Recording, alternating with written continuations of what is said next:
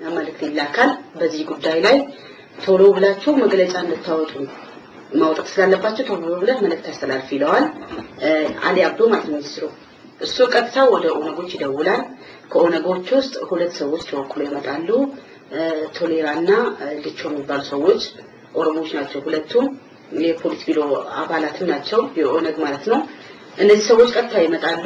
ከኃላፊ ጋር ከመኩሪያ ጋር ይነጋገራሉ። ምን ማድረግ አለብን፣ ምን ጉዳይ ላይ መነጋገር አለብን በሚለው ጥያቄዎች ይሰጣቸዋል። በትግርኛ ወይም በአማርኛ ማለት ነው።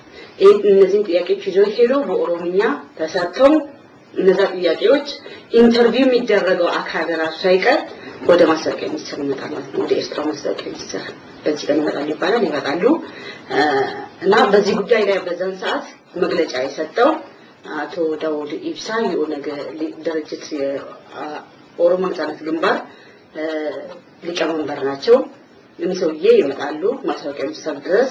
ከዛ በኋላ ስቱዲዮ ገብቶ interview ከመደረጋቸው በፊት ጥያቄውን ኦሮሚያ ሰው ይሰጣል። ለምሳሌ በዛን ጊዜ ነበር የተቀበልኩት። ጥያቄውን ይዤ ኃላፊ ጋር ገባው። አንደኛው ጥያቄ ምን ይላል ይለኛል፣ ተረጉምለታለሁ።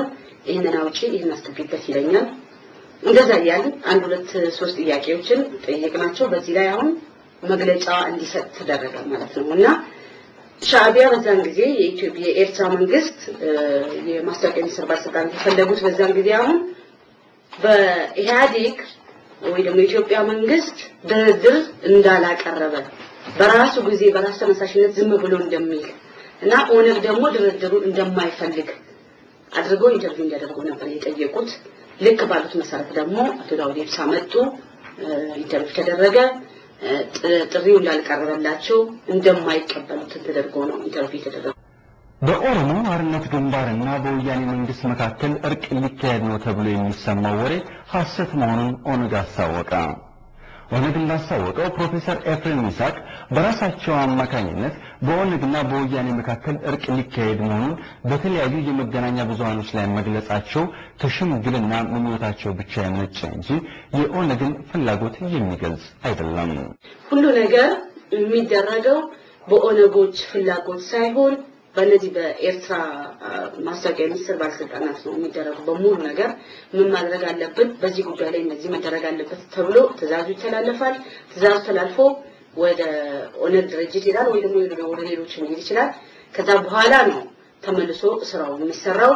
ከተሰራም በኋላ ደግሞ edit ይደረጋል ከመስራቱ በፊት ማለት ነው። እንደገና ወደ አማርኛም ተተርጎሞ ለኃላፊ ማለት ነው። ኃላፊ ደግሞ ይሄ ነገር መውጣት አለበት ይላል። መግባት ካለበት ደግሞ ይሄ ነገር መግባት አለበት ብሎ ከወሰነ በኋላ ነው የሚሰራው። ስለዚህ የኦነግ ባለስልጣናትም የሆኑ ሌሎችም የተቃዋሚ ድርጅቶች ነን ባዮች ኤርትራ ውስጥ ያሉት በፍላጎታቸው በራሳቸው ተነሳሽነት ምንም ነገር ማድረግ እንደማይችሉ እና እነሱ ታዛዦች ብቻ እንደሆኑ የኤርትራ መንግስት መሳሪያ እንደሆኑ ሊጠቀሙ እንደሚጠቀሙባቸው ብቻ ነው መግለጽ የምፈልገው። ኦነግ በሻዕቢያ እየታዘዘ ዜናዎችንና መግለጫዎችን የሚያወጣ የኢሳያስ ቡድን ተላላኪ መሆኑን ኤርትራዊቷ ጋዜጠኛ አበባ ዮሴፍ በተግባር ያየችውን ገልጻለች። ማን ያርዳ የቀበረ ማን ይናገር የነበረ ነውና ኦነግ አለቆቹ ያዘዙትን ከመፈጸም አልፎ የኢሳያስ ቡድንን ለማስደሰት ራሱ የፈጠራ ዜና ይዞ የሻዕቢያ ባለስልጣናትን እጅ ነስቶ ቢያቀርብላቸውም ካለነሱ ፍቃድና ፍላጎት መተንፈስ እንኳን አይችልም። በ External Service ወይ ደግሞ በዚህ የውጭ አገልግሎት በሚባሉት ስርጭት በኩል የተለያዩ ዜናዎች ወይ ደግሞ ፕሮግራሞች ይሰራሉ። ለምሳሌ ከተቋሚ ድርጅቶች ኦነግም ይሁን የደምሂት ትግራይ ዲሞክራሲያዊ ንቅናቄም ይሁን አርበኞች ግንባርም ይሁን አንድ እርምጃ የማቃት እርምጃ እንደወሰደ ተደርጎ ዜናዎችም የሆኑ አርቲክሎች የሚጻፉበት ጊዜ አለ። በምስራቅ ኦሮሚያ የሚንቀሳቀሰው የኦሮሞ አርነት ግንባር ሰራዊት ለአሰሳ በተሰማራ የወያኔ ጦር ላይ በወሰደው ድንገተኛ ጥቃት ጉዳት አደረሰ።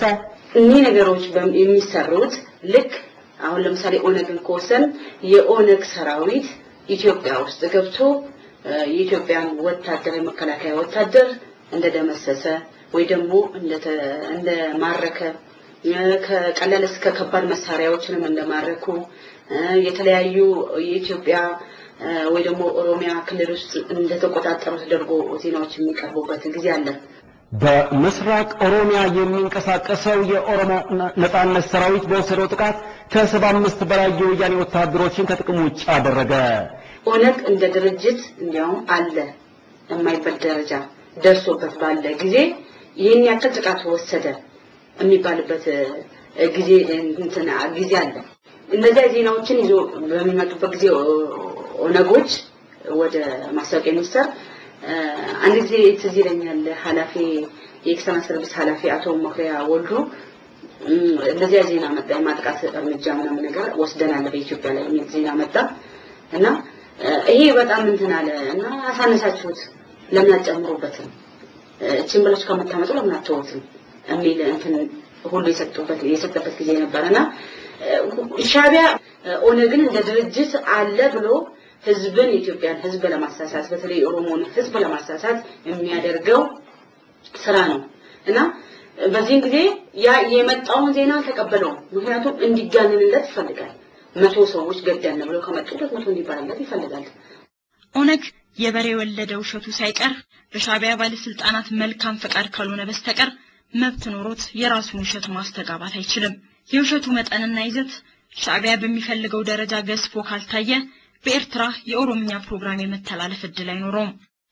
ሻቢያ ለተቃዋሚዎች መጠቀሚያ ብሎ ለስሙ የከፈታቸው ሚዲያዎች ላይ ሙሉ ለሙሉ አዛዥና ተቆጣጣሪ መሆኑ ወይም የራሱ ዓላማ ማራመጃ ማድረጉ ብቻ ሳይሆን ድርጅቶቹ ራሳቸው እንደ ድርጅት ምን ያህል ህልውና አላቸው።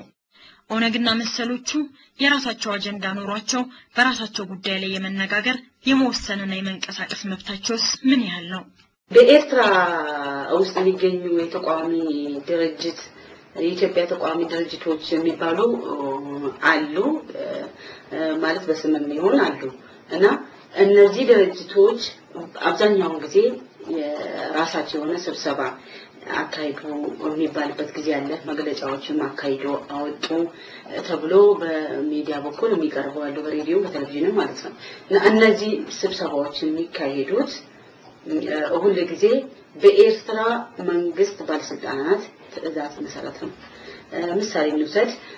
ኢትዮጵያ ውስጥ ምርጫ ምሳሌ እንውሰድ። ምርጫ ጊዜ እንዲህ ችግር አለ፣ ህዝቡ ከመንግስቱ ጋር እንዲህ ተቃውሞ እያነሳ ነው የሚባል ነገር ካለ ይወስዱና ወዲያውኑ ስብሰባ ያደርጉላቸዋል ማለት ነው። እነሱ አሁን ለምሳሌ ኦነግን እናንሳና ኦነግ የፖሊስ ቢሮ አባላትን እዛው አስመራ ውስጥ ስላሉ ስብሰባ እናደርጋለን ይሏቸዋል። አቶ የማነ ገብረአብ ይግደፍ አባል ነው፣ ይህ ሰውዬ ኃላፊው ነው እና አንድ ደግሞ ኮሎኔል ፍጹም የሚባል አለ። ሁለት ሆነው ነው ስብሰባ የሚያደርጉላቸው። አብዛኛውን ጊዜ ግን የማነ ገብረአብ የሚያደርግላት እኒህ ሰዎች ሁለቱም ኤርትራውያን ናቸው። በመንግስቱ በኩል ደግሞ በጣም ታማኞችና የህግደፍ አባላት ናቸው እና እኒህ ሰዎች ስብሰባ ያደርጉላቸዋል። በዚህ በዚህ ጉዳይ ላይ እንዲህ እንዲህ አለ information ራሳቸው ናቸው የሚሰጧቸው። በነገራችን ላይ እዚህ ላይ ስብሰባዎች በሚያካሂዱበት ጊዜ እነዚህ ሰዎች የኦነግ በኦሮምኛ ሳይሆን የሚካሄዱ ስብሰባው በአማርኛ ነው የሚካሄዱ። ምክንያቱም እነዚህ ሰዎች ኦሮምኛውን ስለማይችሉ የግድ በአማርኛ ነው የሚካሄደው። በአማርኛ ከተካሄደ በኋላ ለስብሰባው አጀንዳዎችን የሚያወጡት በሙሉ የሻዕቢያ መንግስት ባለስልጣናት እነዚህ ሰዎች ናቸው የሚያወጡላቸው። መቅረብ ያለባቸውን ነገሮች ሁሉ ነገር የሚያዟቸው እነዚህ ሰዎች ናቸው ማለት ነው። የሻዕቢያ ወይ ደግሞ የኤርትራ መንግስት ባለስልጣናት ናቸው። ከዛ በኋላ ነው እኒህ የኦነግ ፖሊስ ቢሮ አባላት ናቸው የተባሉት ወስዶ ወደ ኦሮምኛ ይቀይሩታል ወይ ደግሞ ይተረጉሙታል። ከተተረጎመ በኋላ ነው ተመልሶ ወደ ማስታወቂያ ሚኒስቴር ወደኛ ይመጣል። እሱ ይተረጎምላቸዋል ለኃላፊዎቹ ማለት ነው። ለሙክሪያ ይተረጎምለታል። ሙክሪያ ደግሞ ወስዶ ለሚኒስትሩ፣ ሚኒስትሩ ደግሞ ከሚገናኘው ክፍል ጋር ይገናኛል። እንግዲያስ የመግለጫ ጥሩ ይተላለፍ ይባላል፣ ይተላለፋል። ምክንያቱም አሁን እንግዲህ ሁሉ ነገር የሚሄደው ከኤርትራ መንግስት ነው ብያለሁ። ግን እዛ ከሄደ በኋላ ራሱ ተጨምሮበት ሌላ ነገር ጨምሮ እንዳያመጡት ኦሮምኛ ውስጥ ማንበብ ስለማይችሉ ትግረኛ ተናጋሪዎች ናቸው እነሱ። የግድ ይመጣል ወደኛ ተመልሶ እኛ ጋር ሲመጣ ኦሮምኛ ተናጋሪ አንድ ሰው ይመረጥና እናተረጉምለት ይባላል። እንተረጉምላቸዋለን። ይህ ስንት ጊዜ ብዙ ጊዜ ተረጉም ያለው እንደዚህ አይነት ነገር ማለት ነው፣ ለመኩሪያ ማለት ነው። ከተተረጎመ በኋላ ነው እንግዲያውስ ያስኬደናል ከተባለም ሚዲያ ላይ ይሰራጫል ማለት ነው። ለተቃዋሚዎች ተብሎ የተከፈቱትና የኢሳያስ ቡድንን ድብቅ አጀንዳ በማስፈጸም ተግባር ላይ ትኩረት ሰጥተው የሚሰሩት እነዚህ በሻዕቢያ ባለስልጣናት ሙሉ በሙሉ በቁጥጥር ስር የሆኑት የኤርትራ ቴሌቪዥን ሚዲያዎች ሻዕቢያ አልቅሱ ሲላቸው የሚያለቅሱ አፋቸውን ዝጉ ሲላቸው በሁለት እጃቸውን አፋቸውን የሚጠረቅሙ ታዛዦች ናቸው። ይህንንም ለመፈጸም